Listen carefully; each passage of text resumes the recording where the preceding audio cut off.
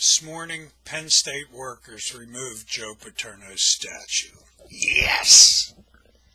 And for those of you that think that Penn State football program is a religion and Joe Paterno was a god, and those of you that left comments on my other videos saying those little boys were probably gay anyhow and probably enjoyed being molested and then didn't even have the courage to leave up your comment and remove them.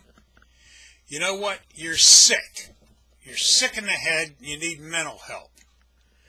That man allowed dozens of little boys to be abused by not reporting it to Jerry Sandusky so that his precious football program wouldn't be tainted.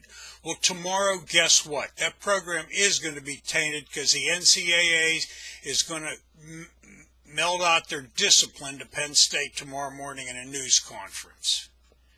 And again, any of you that think that that statue should have remained there, you're sick in the head.